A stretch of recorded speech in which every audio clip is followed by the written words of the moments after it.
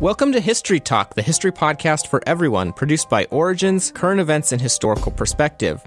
This is your co host, Patrick Potyondy, and our topic today is What Does It Mean to Be a Public Intellectual? For those who read The Atlantic, The New York Times, or Politico recently, this has been the topic du jour of late. Hello, and this is your other co host, Leticia Wiggins. So, first, I read a piece by Nicholas Kristof when he took up the topic in the New York Times, writing, Professors, we need you. So, he claimed academics were not doing enough to engage and shape the public sphere. The Facebook pages of graduate students here at Ohio State's History Department blew up in response. And a week afterward, the Times printed a string of letters from prominent academics who took issue with Kristof. So I thought this was a great topic to explore for today's show. And so then in January, Ta-Nehisi Coates, a writer for The Atlantic, called Melissa Harris Perry, quote, America's foremost public intellectual. Almost immediately, Dylan Byers of Politico responded via Twitter and then his blog by questioning Coates's, quote, intellectual cred. So, our show today takes on this tangled topic. We're asking academics, public intellectuals, and a few who straddle both worlds just what is a public intellectual anyway. We'll also explore the ways academics engage with the public from teaching to writing for a popular audience. We'll even question the value of public intellectual ideal itself, so stay tuned.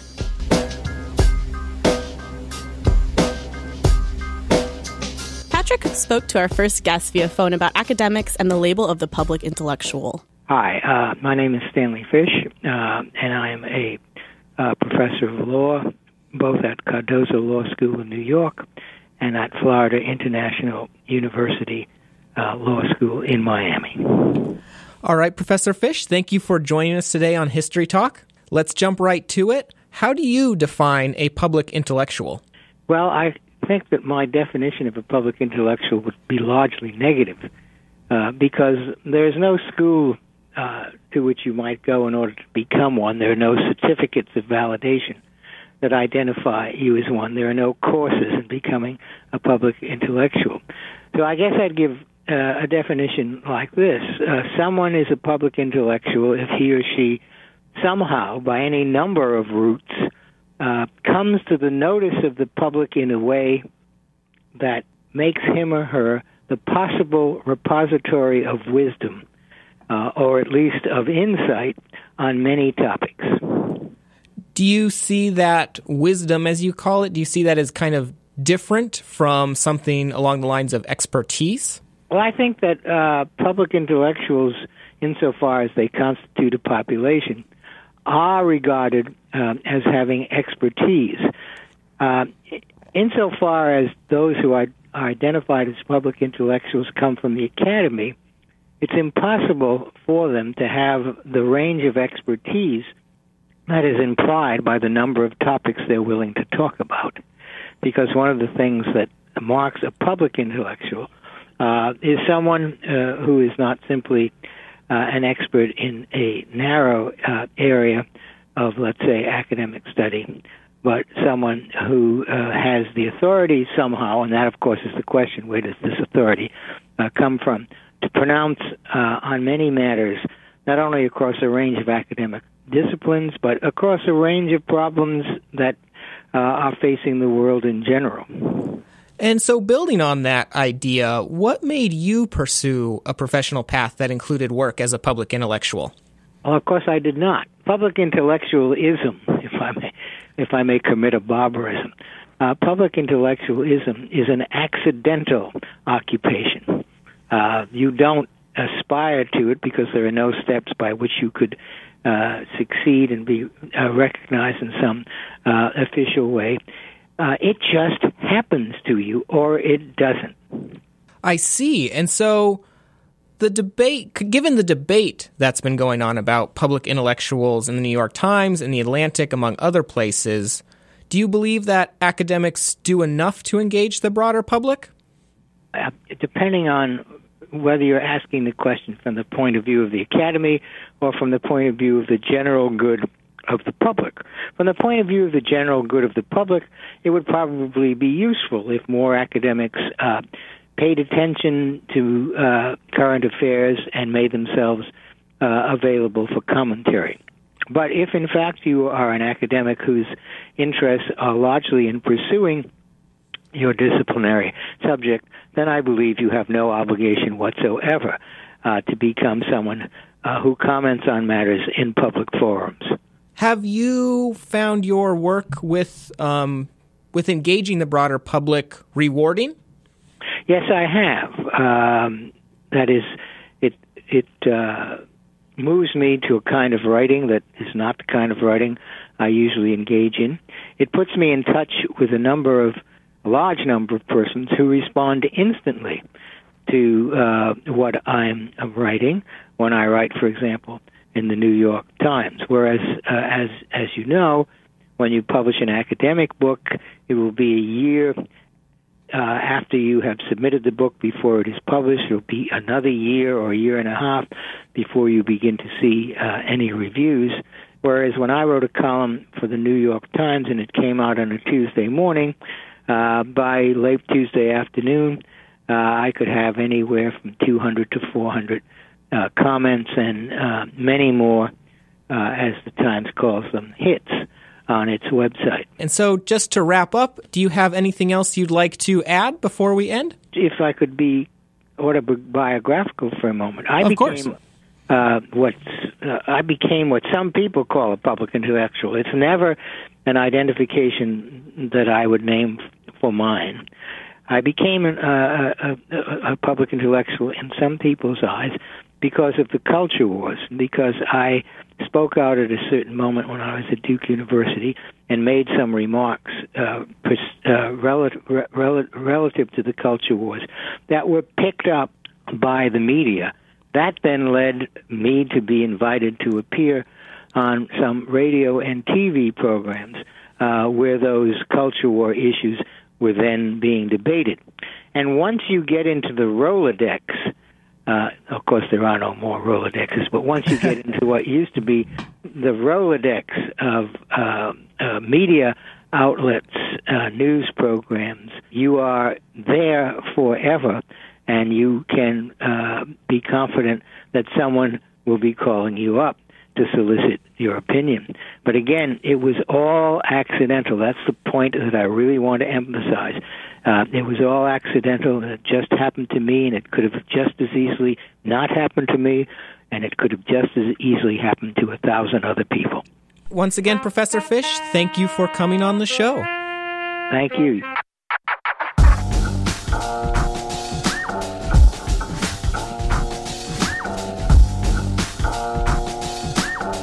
Leticia caught up with our second guest, again by phone, for a lively conversation. My name is Tom Sugrue. I'm professor of history and sociology at the University of Pennsylvania, where I also direct the Penn Social Science and Policy Forum. Um, I'm a historian of 20th century United States. I work on urban history, public policy, political history, the history of civil rights. We're going to start straight off the bat with a question of how do you define a public intellectual? A public intellectual is uh, a term that uh, I think needs to be defined fairly broadly, um, but, but, I would uh, include under that rubric academics or uh, writers, folks who are involved in the life of the mind who make it a high commitment to engage the general public with the uh, work that they're doing, uh, to reach out through any variety of different media, through the press, by doing interviews, by writing for a general audience, for speaking to the general public, uh, for um, working um, for organizations that present scholarship to in an accessible way to mm. um, wider audiences, whether that be through museums or through community organizations. I would also put under that rubric intellectuals who use their skills or expertise to assist social movements or organizations working for social or political change or engaging in the political process. Do you believe that academics do enough to engage the broader public? And you note this in your letter to the editor, I think, was, was written in response to the Nicholas Kristof piece in the New York Times. But why do you think others aren't necessarily seeing these scholarly contributions that you were able to so clearly define? Well, I think Nicholas Kristof has a very narrow definition of public intellectual. That is, he's looking to a handful of mostly well connected white male intellectuals mm-hmm. who were serving like Arthur Schlesinger as a you know a kind of a a court historian to the Kennedy administration, um, or intellectuals like, say, Irving Howe, who reached a wide audience um, and was involved in the creation and, and expansion of Dissent magazine. I mean, they're, they're the quintessential public intellectuals. There are lots of ways of being a public intellectual, and running a little magazine or uh, whispering into the ear of the president are a small subset of the dozens and dozens of academics. I mean, I could give you a long list of mm-hmm. folks who are involved in working with prisoners, giving TED Talks, speaking to community organizations, testifying before Congress, uh, serving as expert witnesses in court cases, uh, working for museums. Uh, I, those are just a few, you know, really the tip of, of, of the iceberg looking online when we were trying to formulate this show to see who considers who the top public intellectuals. There was this piece, I think, from Foreign Policy listing about 20 public intellectuals, and hardly any were listed as women. And to have an evenness of perspective and voice on the show, it's really been difficult to, to contact women. And some of those who we've contacted have cited an ambition gap in a way. And I didn't know if you had any comment on this, uh, or if you'd say with your broader definition, we could encapsulate more women or minorities or different activists under this public intellectual category? Oh, I think there are a lot of women who are working as public intellectuals in the way that I defined. I mean, I, I can just, you know, I can think of a few. Uh, Heather Thompson, mm-hmm. uh, who works on um, prison and incarceration and its history, is writing a book on Attica right now, but she speaks all the time to community organizations, to public groups, to general audiences. Or I think of um, Lisa Levenstein uh, at the University of North Carolina at Greensboro, who's been very active in providing intellectual support for the folks who are challenging the um, North Carolina's laws regarding uh, welfare and work. And I can think of Eileen Boris and Jennifer Klein. Eileen is at Santa Barbara, Jennifer is at Yale, both of whom have written for general audiences about care work and about women working in the um, insecure private sector. They're all stepping mm-hmm. into some of the most important debates in the country. So, looking at those who kind of reach out to the community and then also those who do write for other scholars, that knowledge advances when scholars write for other scholars.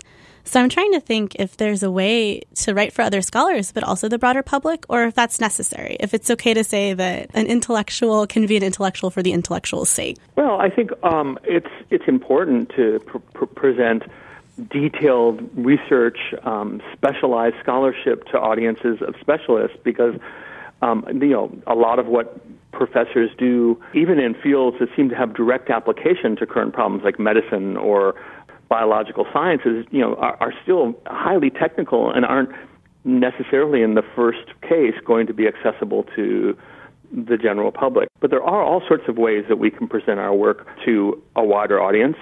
Many of us who teach, for example, are presenting mm-hmm. um, a distillation of our scholarship to our students. Many folks, especially in my subfield of 20th century U.S. history, write op eds or um, many of us speak to church groups, neighborhood organizations, uh, and present our findings in a much more accessible way, almost like we're teaching to a, a general public rather than um, simply um, talking to each other at our disciplines conferences. So I think there are all sorts of ways that um, you can be faithful to the rigor, the detail, the specificity, and the specialization of your scholarship, but also make it accessible before we end, is there anything else you'd like to add or advice for those who want to do their best and are looking to be a public intellectual? I think if you're a young academic and you're um, looking to get tenure at an institution, you do have to balance the demands of your department and um, your scholarly production with your um, reaching out to a wider audience. But I don't see any reason why you can't begin, even at an early stage in your career, to do both, so long as you don't cross over and spend too much time mm-hmm. writing for a general public and lose sight of what your university requires. I think more and more of us, especially mid career and younger scholars, are sympathetic uh, to folks coming up through the tenure pipeline who uh, want their scholarship to be relevant and want to engage the world beyond the academy. And uh, speaking for myself, um, if you do first rate scholarship and you engage the world, that would be a plus factor uh, if I were on your tenure committee.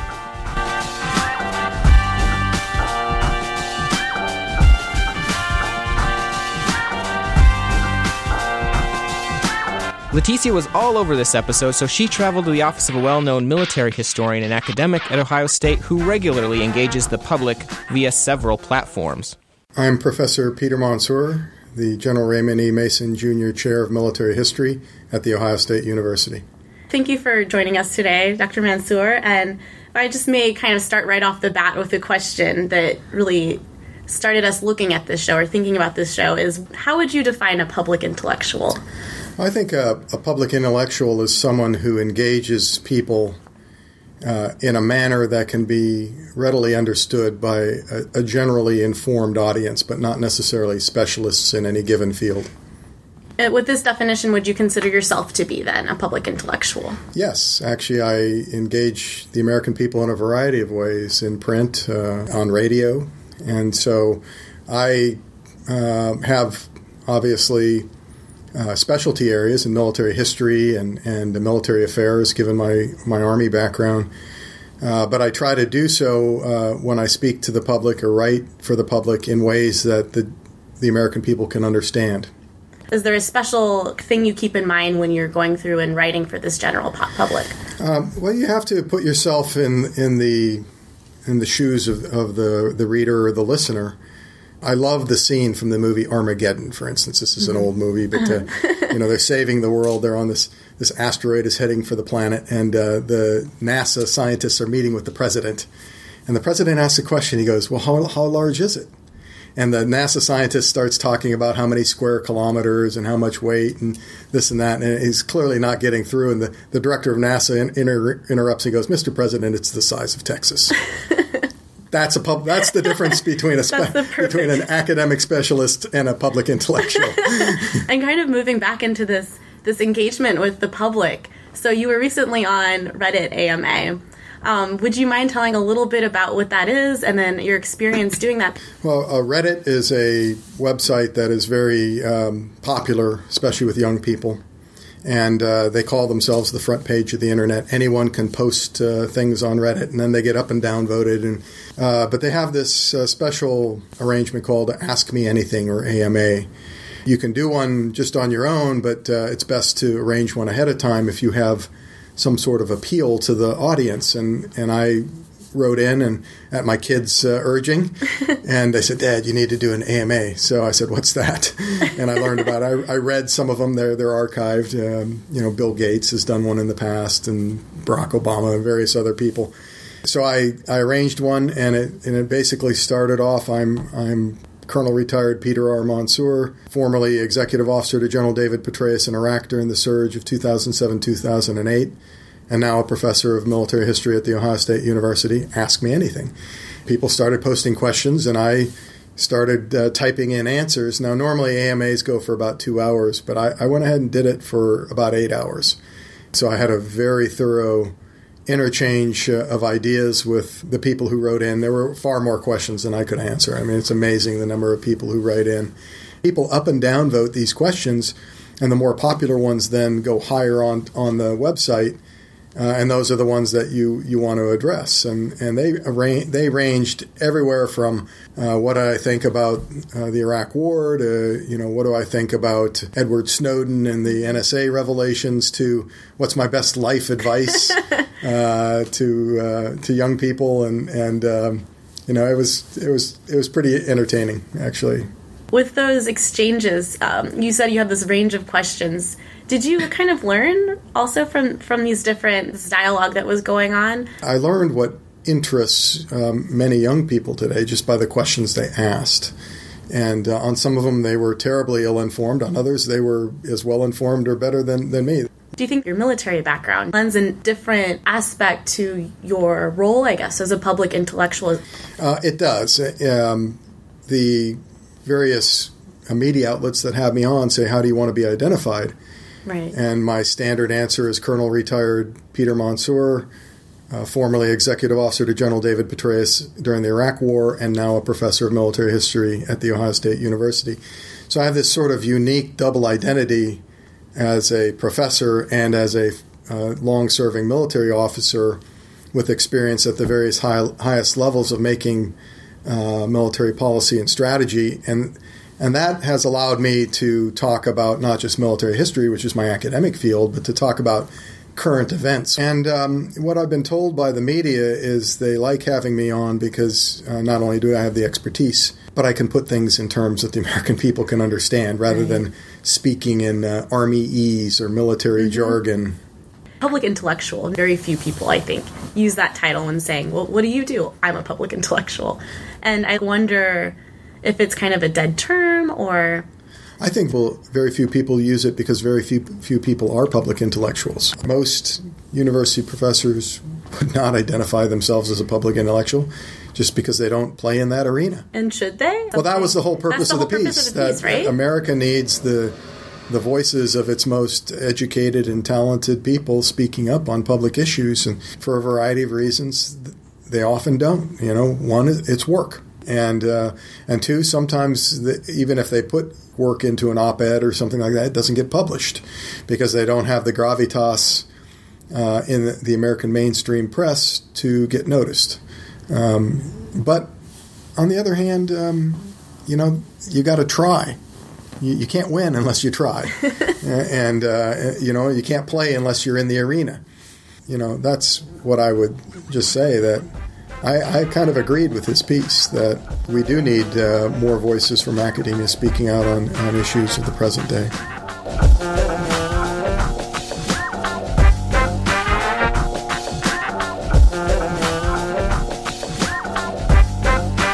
And in our final segment, Patrick interviewed a historian who recently earned her PhD and has already been engaging the public sphere left and right.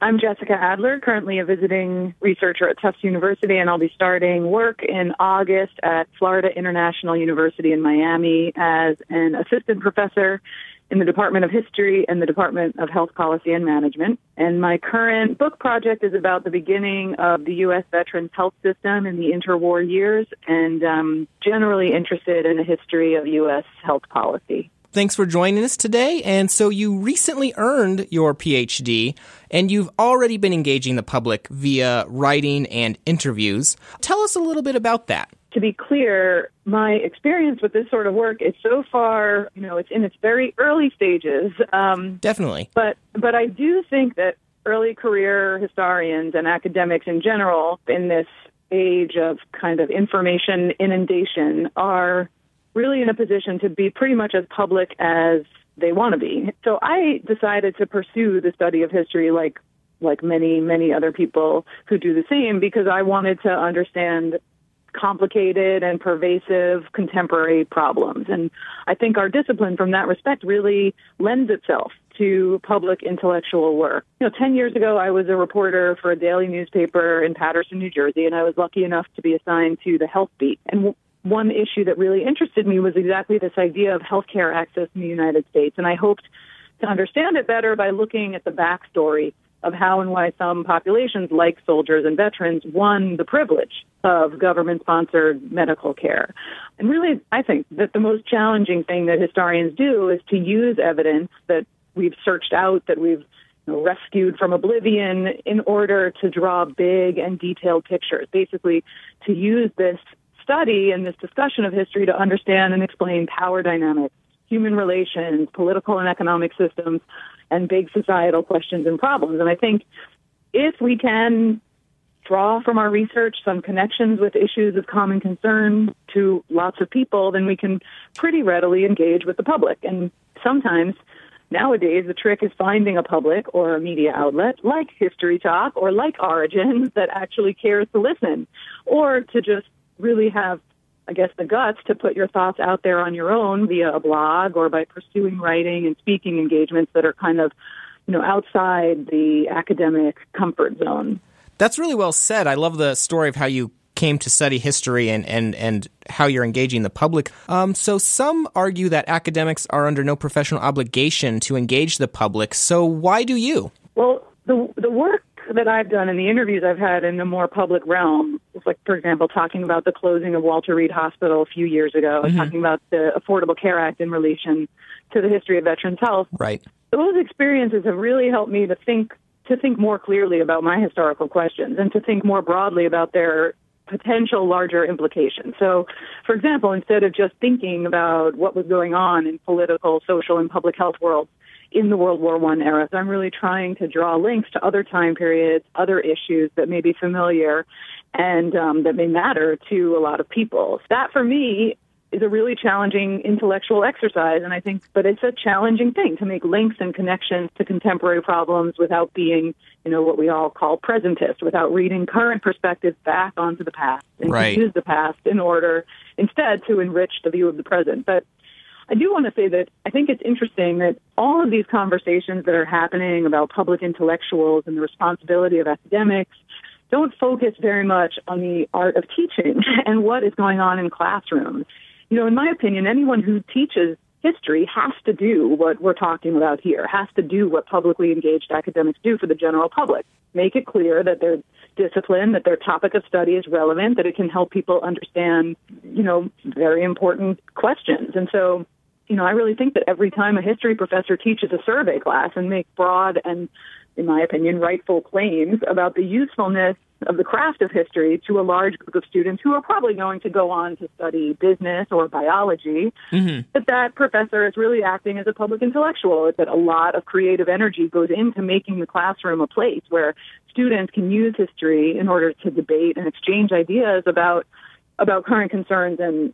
what could be more publicly engaging than that. That's, um, a, that, that's a really excellent point about teaching that you're making, and I'm I want to build on what you're saying here and ask you have there been any difficulties, seen or unforeseen, um, about engaging the public that you want to highlight? Um, yeah, I mean, I think that some of the arguments that Nicholas Kristof brought up in his Times piece um, are valid, that people who live in the academic world are sort of barricaded off and sometimes unwittingly because universities have very distinct requirements for professors who are seeking tenure. Right. And that those requirements don't necessarily jibe with publishing in the popular press. Um, I do think that some of that is changing and that a lot of universities do value and do reward some faculty members who attempt to engage with the public. But I also think that the challenge goes the other way, that you know, when I first went back to school, um, I promised myself that I would always write like a journalist, that I would never use arcane language, mm-hmm. that I mm-hmm. wouldn't couch my historical accounts in a bunch of, you know, fancy jargon. Right. But in some ways, academic training in graduate school, where we are exposed to a seemingly infinite array of beautiful and intricate ideas and knowledge, that training makes it very difficult to just sit down and, you know, write a 600 word piece and tell a simple story. So I think the challenge really becomes how to concisely convey ideas that a lot of people can understand when there is so much compelling knowledge out there. So, a final question for you Has the work been rewarding? Yeah, I'll say that, you know, beyond um, writing for for different sorts of outlets and beyond doing interviews, one thing that I've really tried to do over the last um, few months is to meet with veterans of more recent wars, to go into organizations like the American Legion and um, tell people about my project and try to meet with them and do oral histories with people and really discuss with them their experiences with the veterans health system. And for me, it's enormously illuminating to hear about you know personal impressions of the system that I'm trying to trace and to get people's feedback on some of the big ideas that I'm trying to convey in my book. So public engagement in this way, in my view, can be a way to kind of think through arguments beyond, again, beyond that academic field and try to sound off in, in an approachable way. So yeah, in that way, to me, I very much look forward to talking with people who have nothing to do with academia, and um, that to me is a very rewarding experience. Yeah. Well, Jessica Adler, thank you for joining us today on History Talk. Okay, thanks, Patrick.